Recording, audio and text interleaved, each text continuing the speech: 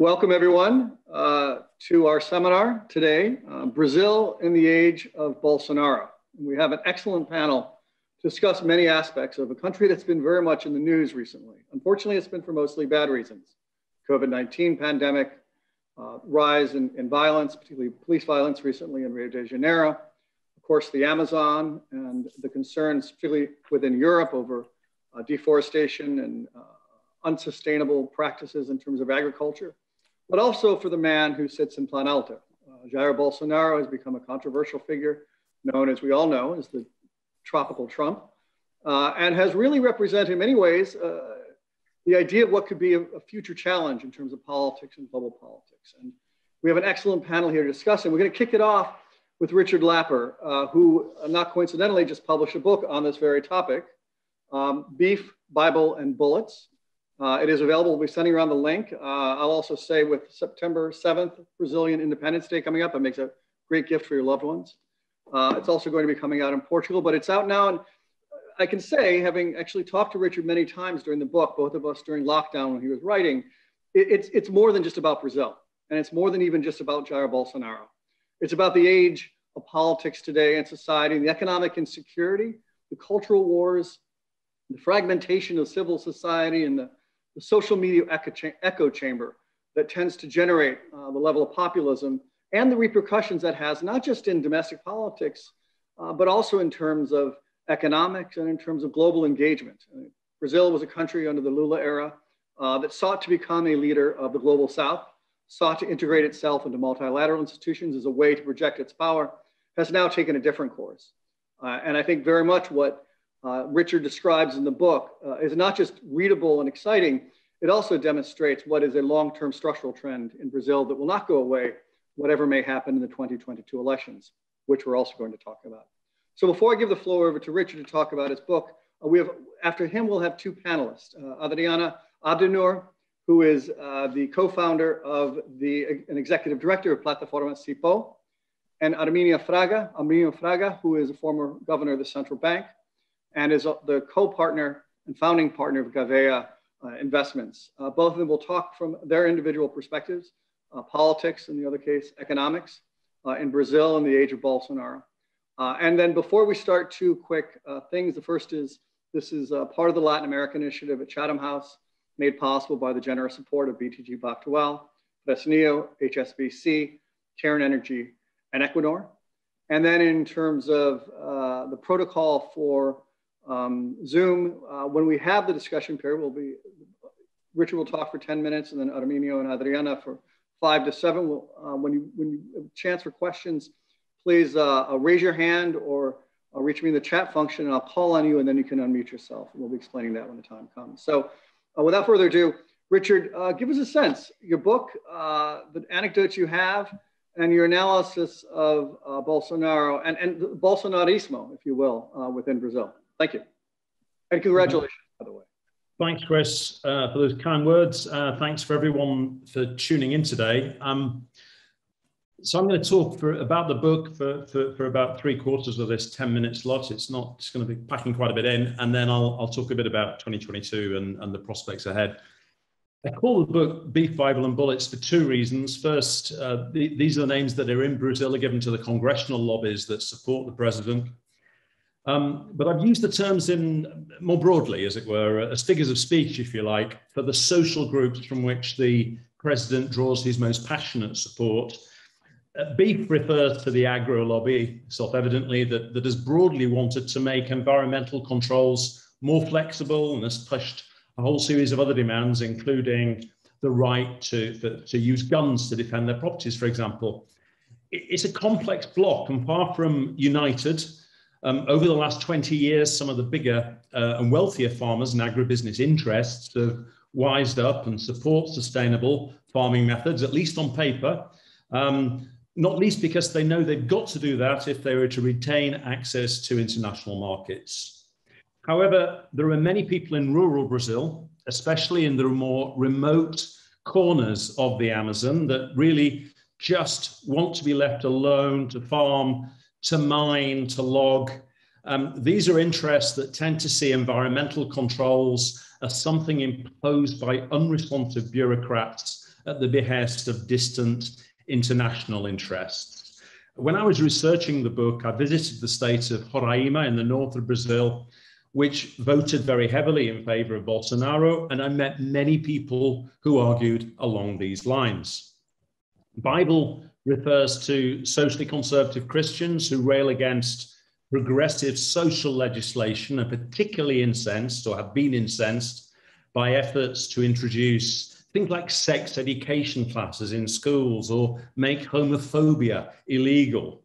Uh, many Catholics in Brazil think like this, but the people who really identify with Bolsonaro's intemperate attacks on gays, so called gender ideology, and political correctness are evangelical Protestants, and especially members of Brazil's homegrown neo Pentecostal churches.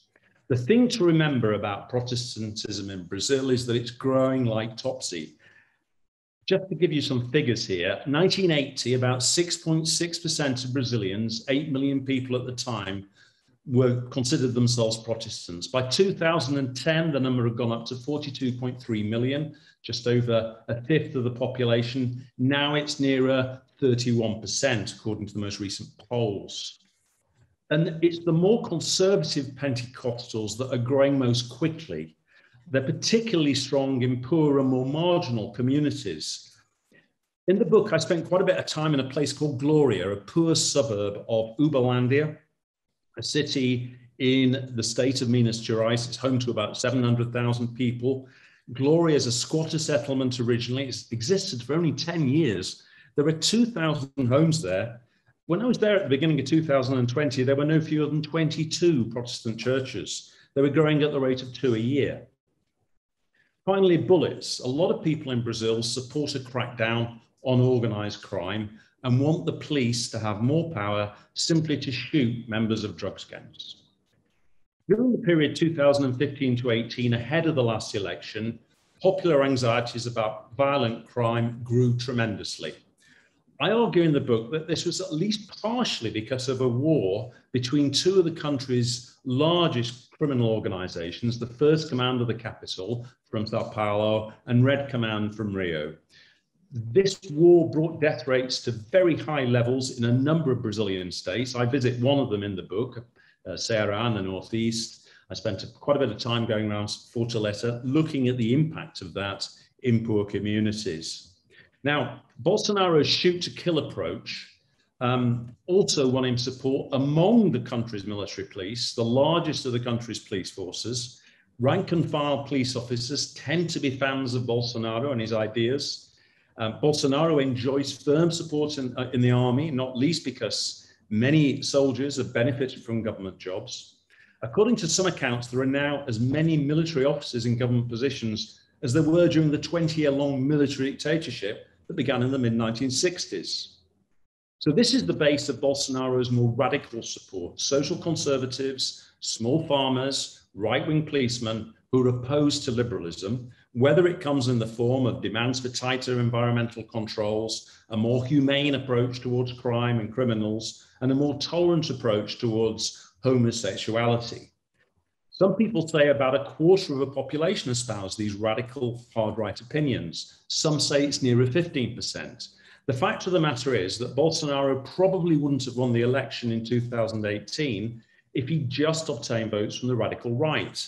His appeal then was much broader because he was seen as a viable alternative to the PT, the Workers' Party, which held the presidency in Brazil between 2003 and 16, and who, when they lost office, were widely blamed for the economic mismanagement that led to the recession in 2015 and the corruption scandals exposed by the car wash investigation. So in 2018, a lot of conservatives, liberal and more traditional, as well as the radical right, voted for Bolsonaro. They liked the fact that it invited Sergio Moro, the investigating judge who had led the car wash probe, into his government. They applauded Bolsonaro's promises to introduce liberal economic reforms. Quite a bit has changed since then. Um, in fact, the story of the Bolsonaro government since the beginning of 2019 has been a story of constant friction between the radical right wing base and Bolsonaro's liberal conservative allies. The alliance is just about intact, but much, much weaker than it was. And one of, one of the main reasons for that weakness is the government's idiosyncratic management of the coronavirus pandemic. So from the outset, Bolsonaro has been a denialist. He's minimized the impact of the disease. He's opposed quarantines and social distancing measures. He's criticized bitterly state governors and mayors who've introduced restrictions and threatened judges who've upheld the rights of local leaders to take action. He's broken with governors such as João Doria from Sao Paulo, who supported him in 2018. He's promoted unproven early remedies such as chloroquine and ivermectin, and he sacked health ministers who refused to go along with that. Bolsonaro has been incredibly slow to roll out vaccines certainly in the first few months after they were, uh, after they were discovered, not least because of his own skepticism about jabs. This is a leader who once claimed publicly that the Pfizer vaccine might turn him into an alligator. Now, not surprisingly, the pandemic has exacted a heavy toll in Brazil. Death rate's been rising from 500 a day in December to 1,000 a day in January, February, and at least 2,000 a day since then. And as the number of cases rise, the number of COVID variants multiply, Brazil's health infrastructures come under huge pressure. Even the private hospitals that wealthy Brazilians use have run short of materials and beds.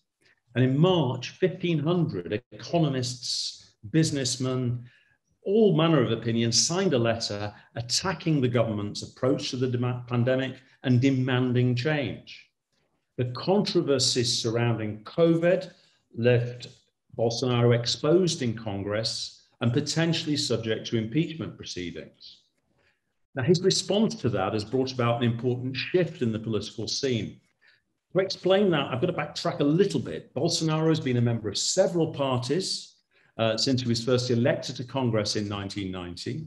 He fought the election for a small, hitherto little known right wing party known as the Social Liberals. He soon left that party. He's talked about forming a new one, it's come to nothing. But in many ways, his campaign was anti political, anti party.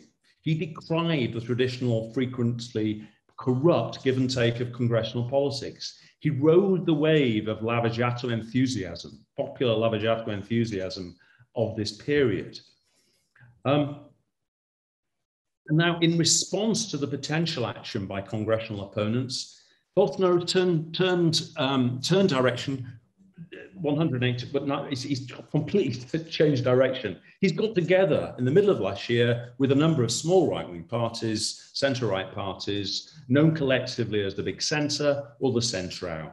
Their main goal in political life is not to put any put in place any particular set of policies, but simply to enjoy the material fruits of political office. These are some of the most physiological parties, as they're known in Brazil. They were hugely associated with the kind of corruption that was exposed by the Carwash investigation. So now, instead of an alliance between beef, the Beef Bible and Bullets crowd and liberal conservatives, we have an alliance between the radical right and the pragmatists of the Centrão. Um, Bolsonaro's promise, which was always pretty fanciful of a new kind of politics has evaporated. The car wash investigation is over. Sergio Moro left the government in April last year. Several rulings since then have discredited his role in the inquiry. Former President Lula is back in the game, can participate in next year's election, despite his alleged role in corruption in the past. He's free to take part. Now, where do we go from here? Got very little time left. Bolsonaro's alliance with the Centrão is providing some very precarious stability. COVID infection and death rates are high. Brazil is finally slowly rolling out its vaccine program. Commodity prices are high. The economy is growing, 5% expansion likely this year. There's been some reform, may not be very important in terms of long, long-term growth, in, uh, but but, but there has been there has been some movement. Electrobras is going to be sold off, or bits of it at least. Bolsonaro still counts with the backing the BBB crowd, uh, the Beef Bullets and Bible, but they're still with him. He's unpopular though amongst everyone else. The recovery has been accompanied by rising inflation and very high levels of unemployment. So there's no what you would describe a feel-good factor in Brazil. Recent polls, and this has been a pattern since March, suggest that he would lose an election to Lula by really by a landslide. The distance between Lula and Bolsonaro is between 10 and 20 percentage points. The most recent poll last week suggested that Lula could win the election in the first round. So many people, moderates on all sides, many in the private sector, are very unhappy about the options. So far, no one has been able to come up with a third candidate who could stem what is evidently polarization between the radical right and the whatever Lula represents these days. I don't want to be overly dramatic, but I feel I'm almost obliged to point out that there is a bit of coup speculation at the moment because a lot of people in the armed forces and the military police do not like Lula and simply don't accept that he was not guilty of corruption. So I've heard it suggested by many quite sober commentators that if Bolsonaro loses next year's election, he would resort to force to retain office. Now, perhaps on balance, this will not happen because maybe the economic revival will gather some pace and that might play well for Bolsonaro's election prospects. Perhaps Brazil's relatively solid institutions will diffuse the risk of a constitutional crisis. But what I do want to say is that Brazil faces a very uncertain year ahead. Thanks. Thank you very much, Richard, for a very interesting summary, uh, very compelling as well. Uh, it certainly leaves us off with uh, lots of things to talk about. Uh, and I'm going to start with Adriana. Um, and, and, I want to sort of highlight two of the things that Richard mentioned. One is, is you know, can the center hold? Uh, and I, by that, I don't mean the Centrão, but the actual political center between Lula and Bolsonaro. And is it that stark? And the second is, is without getting into the world of, of predictions on, on coups or, or what have you, you know, have institutions been damaged any way that will, they can't be recovered or that would last over the long term or could sort of fail in this capacity to mediate political disputes? So Adriana, over to you. Thank you, Chris, and uh, thank you very much for inviting me to, to this debate. Uh, Richard, I haven't yet read your book, but I've read about it and I look forward to, to reading it. It looks like a great overview. And for those of us here in Brazil, it's very useful to have another perspective on this mayhem that we're still living through. Um, I'm going to speak briefly from the perspective of civil society. I co-founded um, a policy research institute at the beginning of the pandemic. So we exist virtually, but we have staff in five different biomes around Brazil and also uh, abroad. And from our perspective, um, it, there's a false dichotomy when we ask are institutions still working or not, but we definitely live through the declining quality of democracy in Brazil, the shrinking spaces for participation, and even attempts to uh, criminalize uh, those of us in civil society, especially working as our organization does on environmental and climate uh, matters. So I'm going to make a few statements that hopefully complement um, Richard's uh, broad overview, again, focusing on our work, which is um, mostly on illegal deforestation and other environmental crimes in the Amazon. And we have been analyzing not only internal dynamics, mapping out the national actors who are relevant to combating and prevention of environmental crimes, but also how foreign policy um, ties into this. And these topics may not be the most directly relevant in terms of public opinion. For instance, foreign policy very, very seldom becomes a, a hot button issue in presidential elections in Brazil. It's still viewed very much as an external, almost niche type uh, topic. But uh, it does come in indirectly, for instance, through the emphasis or not on commodity exports and trade relations.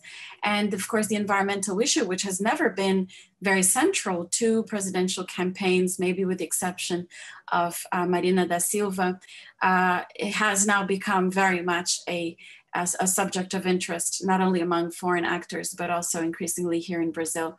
So what we can say is that the, the government's behavior with respect to environmental and climate issues is really symptomatic of something which I believe Richard has put in his book, which is the, the fact that Bolsonaro tends to offer a very seductive um, solution or, or view of public problems and their solutions by simply simplifying them or you know offering simplistic um, solutions. And the way that he does this, and we, we, we see this very much in the environmental area, is by undermining systems of knowledge that are based on data and analysis and broadly, broadly put, you would say logic. And um, the use of fake news, but also an appeal to almost like a cosmogony, to go back to old philosophy, is very evident across all sectors, but I think is particularly felt right now in the environmental um, area. We're going, we're experiencing new uh, record levels of illegal deforestation. The data just came out from the National Space Institute for the month of May. It's the highest ever since the data series began to be collected. Um, and it represents an increase of 40% over the same period last year. So we really are living through a period of not just pandemic crisis, but the su superimposition of this ecological and socio-ecological crisis. And of course, this has bearing on the, the, the arrangement of the blocks that uh, Richard mentioned within Congress, but also I think are major factors that will continue to influence the basket of risks that we call Risco Brasil, Brazil risk. Um, what what has been the government's approach if you can call it that first of all what we see and we have a report that was just published and i'll share with you the link um, in the chat a little bit later is a policy of dismantling um, it's a dismantling of the federal institutions that are in charge of protection of the environment but also of the traditional peoples that inhabit the forested areas including indigenous and the afro-descending the quilombola peoples and this is done not just through budget cuts. So we're not just talking about, you know, the minimal state. We're really talking about um, uh, exclusion of personnel and dismantling of the basic structures that have uh, over the years accumulated a lot of know-how, a lot of know-how and, and, expertise about how to monitor the environment and respond to it. Mm-hmm. And of course, the response has always been a very mixed response by state actors, armed forces, sometimes prosecutors, sometimes in collaboration with civil society and even the private sector.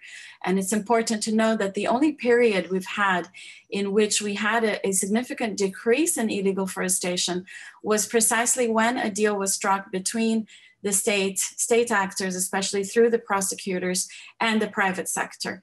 And even though ESG is now very much at the forefront of conversation, what we know from this area is that unless you have a federal level vision of development that is compatible with keeping the forest standing, um, the, the private sector tends to find the path of least resistance. And even when you have this external pressure, that's not enough to curb deforestation because there are many loopholes and uh, ways to, to go about uh, making a profit out of products in the forest. So what we see is that illegal land invasions illegal mining and illegal logging especially are skyrocketing especially in the um, protected lands, the indigenous lands and the conservation units. And this is not just a result of this dismantling policy, it's also a direct consequence of an official discourse that openly encourages these activities. So when Bolsonaro says that you know Brazil will not have any more environmental crimes, what he's referring to is that if you legalize environmental crimes, then they no longer constitute crimes. And, uh, and it's a very open uh, way to put it. This line of thinking, by the way, is not completely new. Um, it has even been present in some of the left wing governments that also viewed um, the Amazon as this vast, interminable uh, place of resource. But it's being distilled and taken to an extreme that we really have not witnessed since um, the 1970s uh, when we had the military dictatorship. And then at the same time, and I think this is probably um, the second most important component of the environmental policy, is a type of fire hosing of legal bills that are intended to um, to legalize the environmental crimes. And we, you know, those of us in civil society, we work as networks because um, are so many of these legal bills that are put forth every single day that you have to follow them and come up with collective strategies to try to resist the most damage causing ones. But there are many that end up falling through the cracks. And again they dismantle the structures that are in place. And the third uh, pillar of this approach, in addition to the dismantling and the fire hosing of legal bills, is the militarization of environmental preservation, right? So part of the seductive logic of the Bolsonaro government, and again, it's not something new, but it's something that it brings back with, with force, is the belief that the armed forces will come in and they will solve our problems. And this continues to happen, even though previous attempts showed that militarizing environmental preservation is a extremely costly. So the last operation it's um, cost more than the entire environmental budget that had been set aside by the Bolsonaro government, and yet it does not yield results. In fact, it may yield some negative results. But again, politically, just as encouraging environmental crimes panders to the beef base, which Richard mentions, militarizing any aspect of the public sphere, in this case, environmental preservation, uh, bolsters his support base among the military, right? Which, along with the beef and the evangelicals, constitute still the main um, the main support base for, for Bolsonaro. So in terms of the relevance to the election, in, in addition to pandering to the bancada ruralista, right, the agribusiness interest, because we have to remember that the encroachment on these protected areas is driven, it's not by the, the guys and who the families in the Amazon who are seeking out a living. These people exist, but what's driving this is big money it's high level organization, it's levels of sophistication that include um, hacking into satellites, that include using um, cryptocurrencies. So that is where the driving force is. We have to look at the politics, the money, and the level of organization rather than the discourse. I can't buy into this discourse that it's just these people in the Amazon that have to earn a living. Obviously, jobs are needed in the in, in the, the region. But what's happening is that you have money coming in from sao paulo you have money coming in from curitiba probably from rio de janeiro where i am and, and helping to, to perpetuate and intensify um, these uh, dynamics. And okay, let's let's leave it there. We have we have to move on to arminio. Plenty of time in the question and answer period. Um, arminio um, the uh, obviously uh, brazil took a large hit in the economy, negative 4.1 growth in 2020, but back on the road to growth, uh, thanks in large part to the uh, commodities. And of course, uh, the, the, blow that was cushioned uh, by uh, the fiscal stimulus. What is your sense of the economic conditions generally and the economic future of Brazil? Thank you. Um, uh, like those who came, spoke before me, uh, Richard, congratulations. I can't think uh, of someone more qualified uh, to um, to write such a book. I look forward to reading. I've, I've flipped it uh, in, figuratively on, on Kindle. I look forward to uh, to reading it. Um, look, uh, I'm going to give you a quick uh, view, kind of leaning uh, towards the economic side of things, which is sort of where I, where where I'm more comfortable. But but I'll, I'll, I'll go outside that a little bit first point I'd like to, uh, to highlight is that um, uh, even before Bolsonaro, and, and my view of Bolsonaro's government is, is like the ones who just spoke. It's just an, amazing uh, disaster. Uh, but um, even before he came along, uh, Brazil hadn't really been doing that well. We've had some good moments after the, the so-called lost decade. Uh, but overall, I was looking at some numbers. I, I put out a piece uh, yesterday in the Folha of Sao Paulo. Even if you exclude the last decade, if you look from then on, including Cardoso, including the, the good years of Lula, there was some, some, some not so good years as well. Uh, but Brazil, Brazil still only managed to grow a little bit over 1% on a per capita basis during these years. So Brazil is not converging in, fact, pretty much all of Latin America at this point is, is in that uh, uh, sad situation. And things have become uh, more fragile. Even before Bolsonaro came along, we had serious macroeconomic problems. It's been um, uh, recurrent problem of ours over the years. Um, we had um, the low growth, which points towards productivity issues all over. And I, I, I, I don't have time to get into that. We also had, despite some uh, improvement uh, during the Cardoso and, and Lula years, massive inequality issues, uh, both as far as basic poverty is concerned, but also looking beyond that. Uh, there's been very low social mobility. I'm joining Adriana in the civil third sector um, uh, in, in, in, that area. We have a, a brand new institute uh, up and running, focusing on social mobility. Uh, and then fourth, so macro productivity, inequality, and then the politics. And, by, by that, what, what do I mean? It's basically, uh, it's simple. It's just, how come we really haven't been able to uh, get our act together to do more? You know, why are we stuck? Um, and and into this comes Bolsonaro, and and and is is quite a, a, a, an amazing situation. He um, was elected on the back of the sort of Moro Guedes approach uh, and everything that has already been said.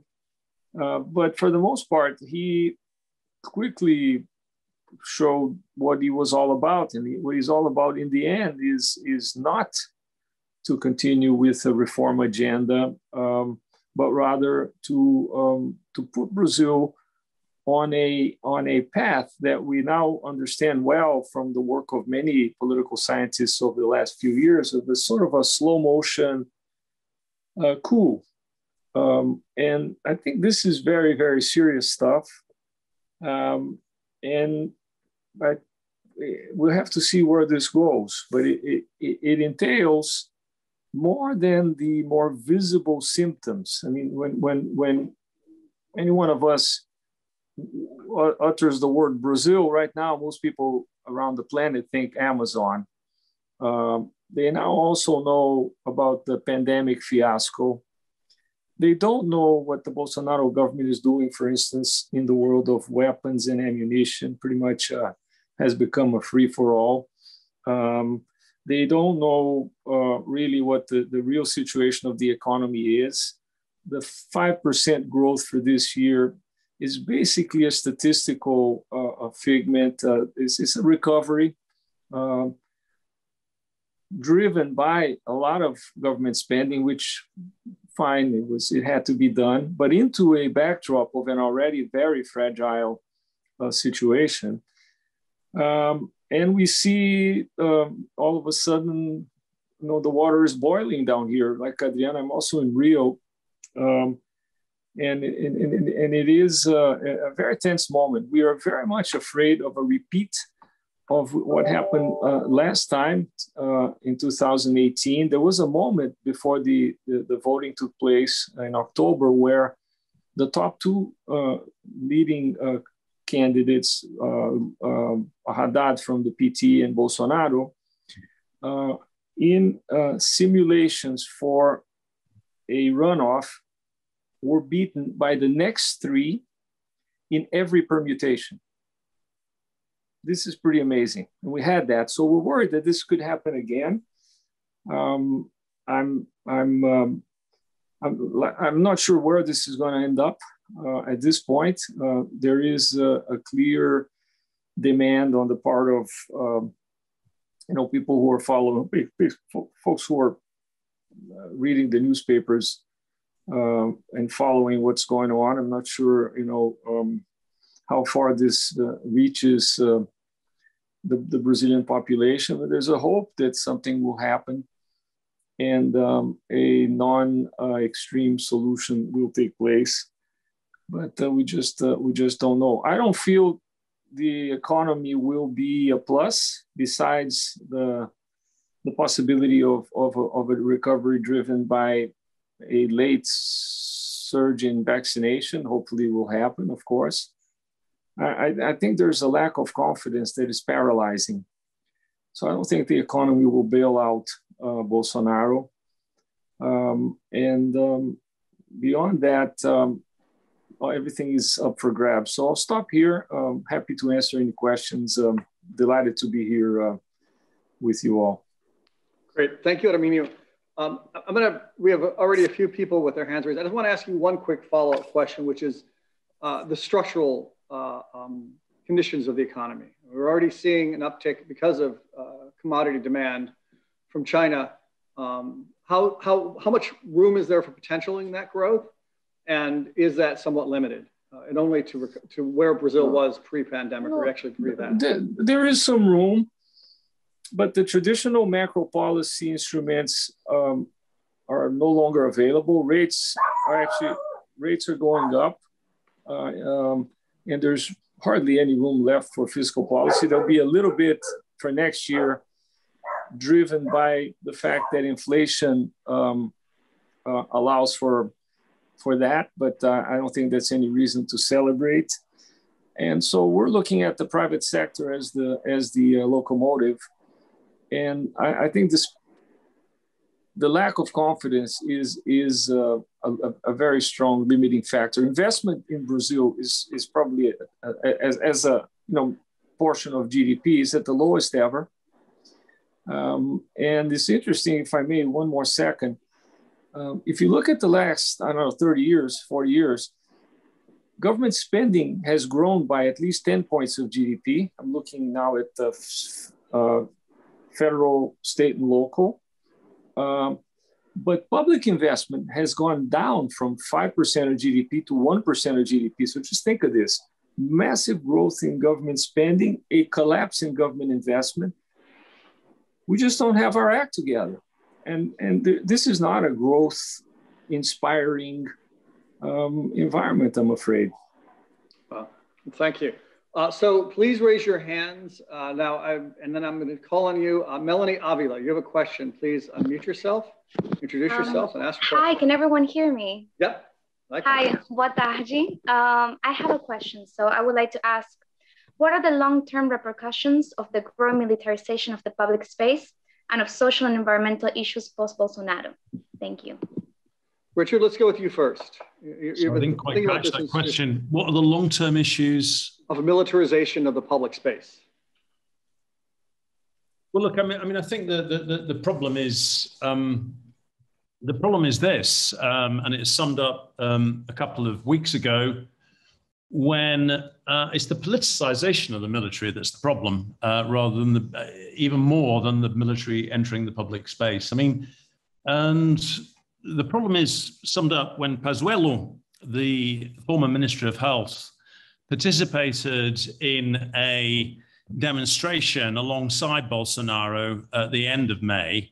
Uh, he was he's a, he's an acting military officer, and he was in clear breach of military rules and um, the High Command uh, considered the matter, uh, and they should have imposed, um, they should have punished him for that. Uh, but they have absolved him from any any any wrongdoing. Now that's they're under a lot of pressure to do that from Bolsonaro. But the danger is that if such if that kind of activity became normal, it will, will encourage that, that kind of encourages other soldiers and policemen who, as I've said, uh, tend to be sympathetic to Bolsonaro. It encourages them to be politically active. This is very dangerous. And I think that, um, you know, when Bolsonaro talks about the army, he talks about my army. Um, there is some resistance in the high command to this, but this is a very dangerous trend. And you know, the politicization, the conversion of what some people say would be into a Praetorian Guard would be a, a real problem for Brazil. Um, and, you know, it does make you think, you know, something in Brazil were to happen as happened in the United States in January, you know, when supporters of President Trump you know, invaded the Congress building, you know, they were there was some opposition from the U.S. police force. Now, would that happen in Brazil? You know, with a, a, a you know, you can well and you can well expect in a way uh, the Brazilian security forces to stand around if that were to happen with their arms folded. This is quite dangerous if the if the um, if the armed forces become so explicitly political. Adriana, you mentioned the issue of militarization of environmental policy. Uh, what are your thoughts on this?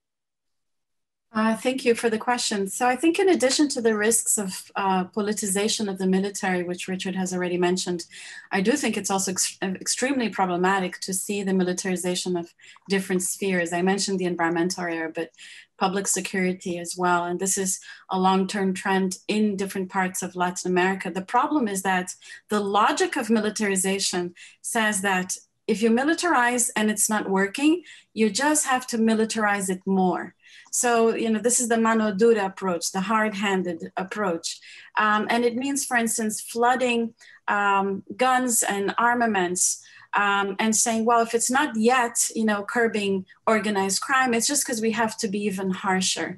And politically, it's a very seductive argument, especially for the middle classes and upper classes who are kind of um, you know, locked away in their in their condominiums.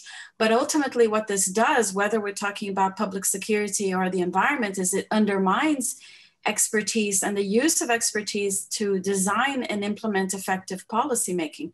Because again, the training of the military, I used to teach at one of the military academies. Uh, the training of the military is not geared towards public security. It's not geared towards the environment. And so that's a misuse of a public resource. And it often leads to their corruption. Yes, and Arminio, I was yes. gonna, I didn't know whether to ask you a question on this topic, please. No, I just, um, I, I, I don't have an optimistic view on this, but maybe, uh, maybe something uh, along the following lines will help us in the end. I suspect that the military uh, at least at the, the, the higher echelons, have at this point figured out that if they were to support a, a an authoritarian uh, adventure beyond the one that's already taking place, mind you, uh, but an authoritarian, I think they know they would be uh, kind of rolling back to the Titanic, if you will. I think they, they, they, they must know that this is, this is, is a disaster. Um, so that's kind of the only hope I have um, on, on, on this front. Um, we'll see. People are figuring this out. I think this recent uh, event that uh, Richard alluded to uh, regarding uh, corruption in the world of vaccines seems quite serious. There's enough out there that I think in the end we we can um, avoid the you know, a, a total collapse of, of our democracy. It, it is being threatened. That there's no question, and that is, of course, in turn affecting the economy. Also, no question about that. Will we, in the end, at the end of the day, uh, collapse? Um, I, I, I, still have high hopes we won't. I think it will be tough, uh, but that's how I see it. One quick point of clarification. I mean, you know, in, in sort of the, the the militarization that others have spoken of, um, there's been no news about the military becoming uh, re-involved, if you will, in, econo- in, the economy as it was in the 20-year plus uh, military regime. I, I, assume that's still the case. The, I mean, the news is, seems to be markets are still functioning. The, mili- the time of sort of the military-industrial complex, if you will, of, of Brazil is, is in the past. Is that right? Yes, I think that's that, that's generally right. Um, Bolsonaro has opposed uh, reform attempts by his economy minister. Um, but I wouldn't blame the military on that. Um, I think they're there. They're were, were dragged into this. I probably think they. I suspect they thought, okay, you know, Brazil needs a little bit of technocracy. But by now, I'm pretty sure I have reasons to think they've figured this one out. They, they, they, yeah. They're not going to do this yeah. There could be noise. I, I, I can't rule that out. Uh, but uh, I, I, stand by my uh, okay, good. My prediction and, and my hope. Good. We have, I'm going to take the next set of questions together. So we have Peter Goodman. So Peter, get ready to unmute yourself. Antonio Sampaio, uh, Baroness Hooper, and then Elena Lazarou. And we'll go in that order. So Peter, uh, introduce yourself, uh, unmute yourself first, introduce yourself, and please ask your question. Sure, thanks. Uh, it's Peter Goodman. I'm the global economic correspondent at the New York Times. Uh, thanks for taking my question. I just want to follow up on what Arminio was saying uh, right at the end there about uh, public spending being up uh, very significantly while investment is actually down. What sort of time frame are we talking about, and where's the money gone? Okay, hold on to that thought. Mean, we're going to take these all together, uh, and I'm avoiding a temptation to add a question to Peter, so but I won't. Antonio, please ask your question. Thank you very much. Uh, uh, Richard, congratulations on the book. Antonio Sampaio, uh, formerly at the IISS when, when we met, and now at the Global Initiative Against Transnational Organized Crime. Um, my question is, uh, Richard, in your view, what, um, what is behind the complete meltdown of the center in Brazil. I mean, uh, it was mentioned at the beginning of the, the event that the, will the center hold? I think I think it's pretty clear that the center is not not only not holding, but it's completely destroyed at the moment. Um, so, so in your view, what, what is behind this um, um, complete sort of withdrawal of, of centrist voices, especially from the PSDB. For instance, Doria, Doria's candidacy was was was seen as, as, as likely, but now you know he he he's failing to to gain any momentum. And and if I, if I may, uh, a quick question to Adriana as well. Um, Adriana, how uh, how significant do, do you think the damage by Bolsonaro on institutions like IBAMA and other uh, environmental protection agencies has been. And by that I mean, how reversible and how quickly reversible would that be if uh, if a more sort of pragmatic government sort of took over in, in after after Bolsonaro? Thank you. Thank you. Very good. Um, Baroness Hooper, please. Uh, hello. Thank you. And um, first of all, thanks to all the presenters. And my question, I think, is directed mainly to Richard. Um, uh, hello, Richard. Um, and, and, congratulations on the book. Um, in the past, I've always regarded individual state governors as having considerable power.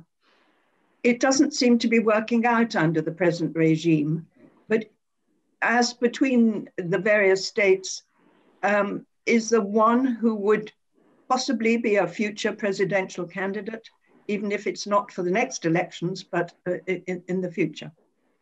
Thank you. Thank you. Very good question. And last, uh, Elena Lazarou, uh, the EU Parliament, and also an associate fellow of Chatham House, as is Richard. Thank Elena. you. Thank you. Uh, thank you, Chris. Nice to see all these familiar faces. I'm also associate of FGV still. Um, so uh, I have two quick questions for, for Richard, I guess, but for anyone else who wants to jump in. Uh, first is, you know, part of Bolsonaro's appeal to his bullets and Bible supporters was alignment with Trump, this narrative of return to the west of Brazil. And I was wondering uh, if if you could speak a bit more about how Biden's election has changed that picture, and if Lula can capitalize on this, looking to 2022, so that the fact that Bolsonaro can no longer offer this narrative with the changing politics in the US. And perhaps the second question to all the speakers is how would a, a new Lula uh, government differ from the old Lula that we know? And what would we expect to see different given also the politics that have happened in between, the different constituencies that have voted for Bolsonaro, uh, but also the post corona environment. Fantastic. Thank you. So, quickly, um, we're going to go in reverse order. So, we end with the uh, man of the hour, Richard Lapper. But basically, public investment to what extent, and this is to you, Arminio, is, econ- is that affecting economic growth? And, that, and I would add, too, the question to the question what is the risk that that will increase by Bolsonaro as we head into the 2022 elections, what will be obviously a, a very difficult election for him. Second is the meltdown of the center. Um, and the third is um, how reversible, this is to you, Adriana, how reversible is the military, the encroachments of the military in institutional and political life.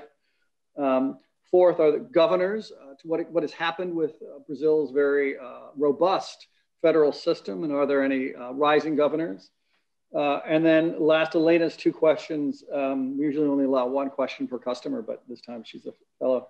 Um, is um, you know, is it possible that that you know that sort of the moment has passed Bolsonaro by, given the Biden election? How is he going to re? And then what could be um, uh, a Lula 2.0 government? What would that look like? So, Adriana, let's. Uh, I'm sorry, Arminio. Let's start with you. Okay. Um, so the, the issue of where the money gone is um, uh, is an important one. We've had substantial growth in, in, in government spending. Um, And we ended up with uh, the following situation 80% of government spending, non, non-financial spending, uh, in Brazil goes to Social Security and payroll. This is a total outlier of a number. Um, and I'm not defending, I'm not a defender of the minimum, minimum state, none of that stuff. But, but Brazil, if you, if you look at the numbers, is completely uh, out of any curve particularly for a middle income country. So Brazil will have to address these issues. There's been some social security reform. They'll probably have to do more. Um, and um, we'll have to see. And on top of that, and this comes from uh, also, you know, social democratic governments uh, uh, uh such as Cardoso and Lula. We also have uh, a lot of subsidies out there that uh, in the end end up in the pockets of, of those who need it the least. So we have three blocks that are very large and that suck all the money out of where it ought to be going to the public uh, health system that has been heroic in its efforts to um, um, education, to infrastructure, and so on and so forth. So a, a, quick comment on Lula, and I'll get out of the way. Um, see, I, it's important that people realize that there's Lula point one, that was um, uh, until 2006. Then there's Lula Point Two, that shifted uh, uh, uh gears, and and then if he wins, there will be Lula Point Three, um, and we just don't know whether he's Lula Point One or Point Two, and you know how things are going to work out. Um, and this is just in the economic sphere. There are all the other political issues, corruption, and so on um, before us. But yeah. you know, on the economic sphere, we hope we see Lula point one back. That's for sure. Uh, and uh, I would suspect that's what he's going to try to uh, convey uh, to the electorate here in Brazil and to the elites who, who backed him up, uh, uh, including his passing of the baton to Dilma, which was, as we now know, catastrophic. But anyway, that's that's that. Thank you. Thank you, Arminio. Uh, Adriana, um, a number of questions for you. Uh, thank you. Uh, so Antonio asked on damage to IBAMA, and yes, it's very serious, and especially to Instituto Chico Mendes, ICMBio. Um, is it reversible? Yes, but it will take a very long time because, again, what Bolsonaro is doing is he's not just slashing budgets, he's really um, destructuring the entire thing.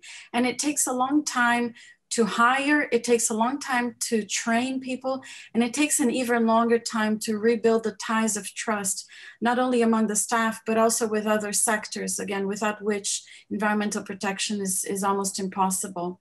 Um, Elena, uh, you asked about the alignment with Trump. So I think Biden's election was not the major change the previous um, uh, chancellor, Ernesto Araujo, who was really a, a, lunatic, I mean, he really looked to the crusades against the Saracens as a model for, you know, for reality in Brazil. Um, he's been replaced by a diplomat who, who appears to kind of be, have a more institutional line. Brazil has been elected to a non-permanent seat at the UN Security Council, but that change was more due to the attacks of the Bolsonaro family on China and indirect pressures that were also placed by Chinese actors. So it was that was the real, uh, if not a turning, I wouldn't call it a turning point, but I would say that the tone has softened and the paranoia that infused foreign policy when Araujo was there, he really relied on the aesthetics of the extreme right and, um, you know, harkening back even to the Nazi period, um, has not uh, been given so much visibility. But um, if Lula capitalized this looking to 2022, I mean, I think Lula's foreign policy would be completely different. It was historically, and I don't see why it would change. And then finally, on how a new Lula government would uh, come under new pressures, I think Lula would come under a lot of new pressures on the environmental front. We have to remember that the Workers' Party was the biggest champion of the Belo Monte Dam, which has the single biggest environmental impact in the entire Amazon. So even the left, the Workers' Party, has had a view of the Amazon that is not very friendly to the indigenous population and to other traditional peoples. And I think as a backlash to what's happening now, uh, those constituencies are better organized and better able to influence policy at the federal level when a new government come in. We're not going to see any changes, even with a new minister of the environment. I'll stop there.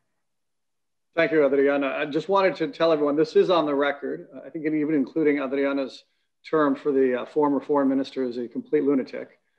I'm totally fine. Willing Keep to stand by that. Okay, good. I wanted to make sure. So everything is on the record. This is not under the Chatham House rule. Uh, and I also like those terms of tactical uh, phrases that you use. Um, and then last, uh, Richard, you have a number of questions that are on your, your plate here. Um, the meltdown of the center, again, the military, and I think it goes to the long term. And what's happened to the governors that Baroness Hooper mentioned? Are they, is this still yeah. a test tube for new leadership? Are they, what about their, their carved out institutional prerogatives? No, so I think I think there are some threads running through this in terms of the centre and its difficulties. I mean, first, most evidently, I mean, the centre, the, the big centre parties, the PMDB and the PSDB, were damaged by the sort of political implosion of Lava Jato, really, um, particularly the PMDB. Um, you know, you look at the the voting numbers between 2010 and 2018, and, and there's a very, very substantial fall in support for both those parties. They were really bulwarks of the Brazilian political system, um, you know, in the in the whole period since the return to democracy, and they and they, they've they've struggled very badly. Now, I think you know association with Jato, um, uh, particularly in the case of the PMDB, was one of the reasons for that, um, and it's for example, you know, Michel Temer, who was in some ways quite a successful president, this introduced some very good legislation, but he was an extremely unpopular president. Um, and at, at, at, various points in his presidency, his popularity ratings were lower than those of, uh, of Dilma Rousseff, and he survived impeachment efforts uh, against him. So I think, you know, it's hard to separate off that sort of whole Lava Jato wave, really. Um, and that, that's a whole different discussion, you know, where Lava Jato went wrong and what happened in the first phase when it was extremely popular, and the second phase when, you know, they began to focus on Lula, I think probably quite uh, mistakenly in some ways. So I think the, the center lost there. What I think we have at the moment uh, is a bit tentative about this, but I think there is a kind of recomposition of the center going on. I, can, I think you can see two or three, two or three pieces of evidence for that. I mean, I think in some ways, what's happening with the Centrão is the kind of re-emergence of a kind of a new centre right in Brazil. And I think um, picking up on the state governor point, um, I think what you're seeing in, uh, in, in the PT, especially in the Northeast, is the emergence of a whole set of younger governors who are probably shifting gear a bit in terms of uh, a more socially conservative left wing, centre left, but socially conservative politics. Uh, they, they run four states, the PT governors, and they're very, they're, they're actually quite tough on crime. You know, they're, they're, they're very, um, they, they, they, in some ways, they line up with Bolsonaro in terms of their approach towards crime. And uh, you've seen, for example, in Ceará, you know, big reforms of the prison system, basically instigated by a PT governor. You know, the sort of things that that, are, that you would expect from the right. So I think there's something there's something going on here. Um, there's a, there's a new generation of politicians on the centre left. Um, the governor of Maranhão, whose name has escaped me, but he's, often mentioned in that respect. There are there are new politicians uh, at a local level. I think the governors do have a certain amount of power still. I think you see that if you look at COVID figures. Um, actually, um, some of the some some states have had a lot more um, success in reducing infection rates because they've, they've they've they've they've been cleverer about quarantines and so on and vaccinations than others. Uh, Bahia done particularly well, and you know Rio's done very very badly. Uh, I mean, the death rate in Rio is three times the death rate per, per, per million population is three times nearly that of Bahia. So that's quite quite interesting and does does point to some uh, local political differences. Um, I think the, the big question really um, uh, for, for, for, Lula is which way is he going to point? I mean, there's all, there's been it's early days. Um, uh, there's been all sorts of suggestions that he will sort of move towards the centre and we'll have um, a, a, kind of uh, you know a, a 2002 you know 2.0 kind of Lula, where he he he he cozies up to people like Meirelles, who's his remember was his central bank governor uh, in in the period between 2002 and 2010, and you know I, I, remember you know at the time Lula didn't do much on the economy without talking to Meirelles first, and that kind of uh, that kind of deal, I think you can see that as a possibility in the future. Um, but on the other hand, you know, Lula's experience over the past five years has been pretty devastating. And I think he's, you know, um, he's very reluctant to admit that there was anything wrong in what the PT did. Uh, uh, and um, I think we're still stuff still emerging. I, was reading this weekend. I mean, uh, Lula's cabinet chief admitted uh, to Veja magazine that there had been corruption in the PT government and that there were various people. He didn't think Lula was responsible for it, but he there is the beginnings of a kind of potential self-criticism from the PT, which you know Lula's certainly not making. He sees himself as a victim of a kind of essentially a kind of you know right-wing coup almost. Thank you very much, Richard. Uh, and, and, in fact, I mean, what's been great about this this discussion has been, uh, despite all the gloom and doom we're seeing in the newspapers, there actually are threads here that all of you have brought up that give some cause for hope, even optimism and I appreciate that. I think it's, it, it demonstrates again, I mean, you're the one who mentioned that the Brazil's been in the news and now we associate it with the Amazon and deforestation and other things. But in fact, there's a lot of other stories. Uh, as we know, Brazil is complex, whether at a local uh, level or federal level on the themes. Um, I want to thank our, our two speakers uh, who had a tremendous insights. Uh, it's been a pleasure to have them on board. Um, I also obviously want to thank Richard uh, and congratulate him on the book. Here's the book. Um, I can't guarantee, but if you buy a copy, maybe he'll send you a scanned version of his signature so you can have an autograph, virtually COVID autographed, uh, signed copy of his book. Um, but I highly recommend it. Um, and not just because I consulted with him on it, but uh, it's just a good overall analysis of global trends in politics that um, we hope are not a sign of, of, the structure of things to come, but certainly reflect uh, more immediate uh, trends that we've seen globally. So again, thanks to BTG Pactual, Fresnillo, HSBC, Cairn Energy, and Equinor for their support of the Latin American Initiative. Please join me in thanking our two speakers, but in particular, again, Richard, uh, the man of the hour, for a, a very good book and a, a, sure, truly a labor of love. If anyone knows Richard, they know how much he loves Brazil. Loves it so much he married a Brazilian, in fact. So thank you, everyone. I appreciate it, and have a good day. Bye-bye.